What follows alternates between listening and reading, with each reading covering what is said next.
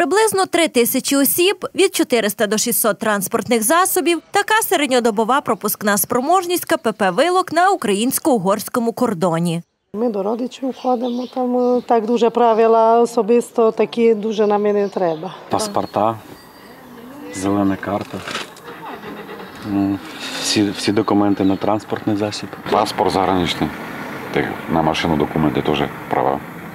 І, і все. Вони виконують свою роботу нормально. Нема ніяких проблем. Приблизно 20 хвилин триває рух автівок від шлагбауму до паспортного контролю. Пішоходи на це витрачають 5-10 хвилин, а потім 2 хвилини на перевірку особи. Заноситься дана особа в базу системи ГАРД. е, Згідно документів і здійснюється ідентифікація паспорта за даним сканером. Перевіряється особа, особа дані вибиває на комп'ютер, на екрані особу пропускається. Якщо є неспівпадіння або особа стоїть на обліку, вибиває дану ж особу на обліку, то згідно неї проводиться контроль другої лінії. Сканер відбитків пальців спрацьовує тільки тоді, коли громадяни із даних переліків країн, 72 країни, які е, треба здавати їм біометричні дані, тобі ж відбитки пальців, автоматично спрацьовує і після, після того включається сканер, подається громадяну ближе до нього. Е, Перше відвідування на державу, ну, в- державу, тобі Україну, він знімає 5 пальців. Друге повторне відвідування тільки 4, тому що попереднє вже є в базі даних. Прикордонники відзначають, з початком туристичного сезону спостерігається підвищення активності бажаючих перетнути кордон. І як наслідок черги на КПП. Пасажиропотік е, збільшення йде зранку до обіду, це на виїзному напрямку.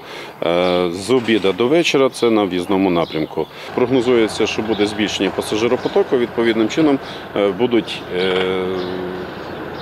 використовувати додаткові прикордонні наряди для оформлення даних осіб. Ускладнюють роботу прикордонникам і нові правила перетину кордону, з якими ще не всі обізнані.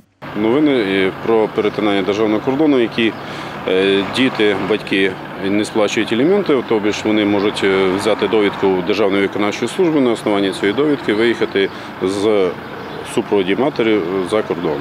Багато батьків вважають, що при отриманні біометричного паспорта на дитину неповнолітню вони можуть слідувати без доручення або заяви від е, другого з батьків.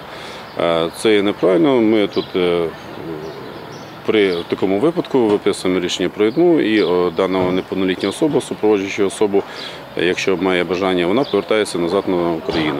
Прикордонники кажуть, почастішили випадки представлення, як то кажуть, липових довідок, зокрема від виконавчої служби батьків, які ухиляються від сплати аліментів, та дозволів на вивезення дітей за кордон. Документи перевіряють у базі Міністерства юстиції і при порушенні передають заяви поліції. Нагадаємо, правила перетину кордону визначені постановами Кабінету міністрів України номер 57 та 724, яких прикордонники наголошують дотримуватися, аби не зіпсувати собі подорож та зекономити час.